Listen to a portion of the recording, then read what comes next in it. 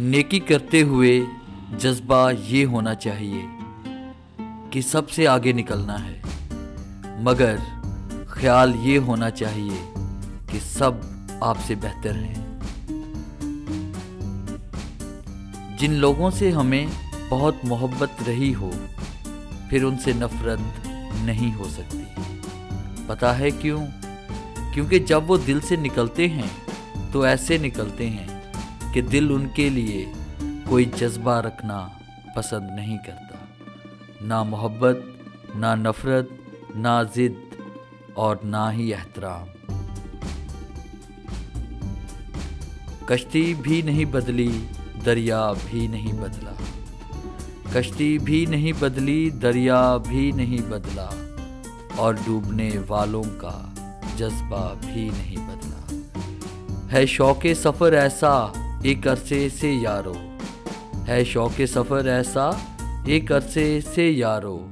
मंजिल भी नहीं पाई और रास्ता भी नहीं बदला।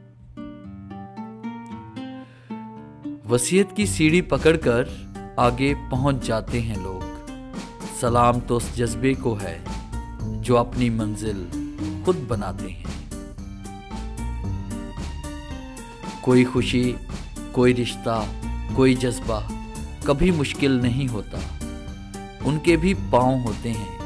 बस हमारा सलूक और रवैया देखकर कभी ये भागकर हमारे करीब आ जाते हैं और कभी आस्ता आस्ता दूर चले जाते हैं।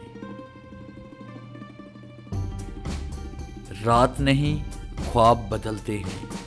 मंजिल नहीं, कारवां बदलते हैं। जज्बा रखो दोस्त जीतने का। क्योंकि किस्मत बदले ना बदले, पर वक्त ज़रूर बदलता है। मंजिल पाने का जज्बा बुलंद हो तो इंसान रास्ते में आने वाली बड़ी से बड़ी मुश्किलों को भी हंस कर अबूर कर लेता है। हालात से टकराने का जज्बा रखो।